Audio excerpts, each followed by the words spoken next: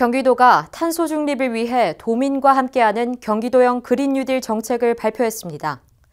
공공건물 그린 리모델링과 수소 융합 테마도시 조성, 수소 교통 복합기지 구축 등 총 18개 과제를 추진한다는 계획입니다. 구영슬 기자가 취재했습니다.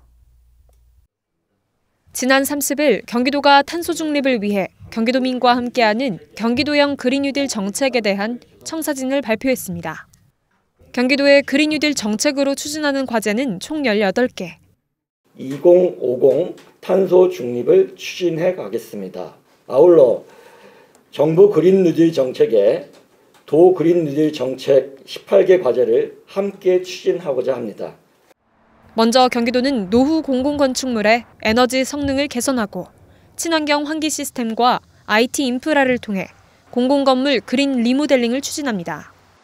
또 생활권과 산업단지 주변에 370여 개의 도시숲을 조성하고 자연 생태계 기능 회복을 위해 공원과 도시 공간의 훼손 지역을 복원합니다.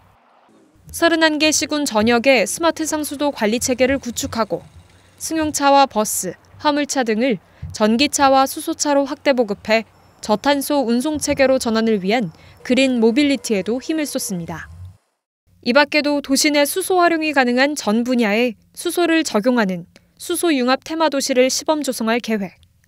기후 변화에 대응하기 위해 저탄소 친환경 경제로 전환하는 한국형 뉴딜 3대 핵심 프로젝트인 스마트 산업단지 조성에도 힘쓴다는 구상입니다.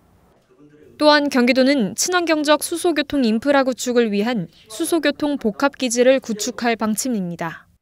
경기도는 도민과 함께 예, 경기도를 저탄소 지역에서 탄소 중립 지역으로 이끌어 나갈 것입니다. 더 늦지 않게 도민과 함께 정부의 탄소 중립 선언에 발맞추어 그린 뉴딜 정책을 추진해 갈 것입니다. 이 밖에도 에너지 자립 마을을 조성하고 공동주택 전기요금 절감 시스템을 구축하며 공공용지를 활용한 햇빛 발전소를 추진할 계획입니다. 경기주 TV 구영슬입니다.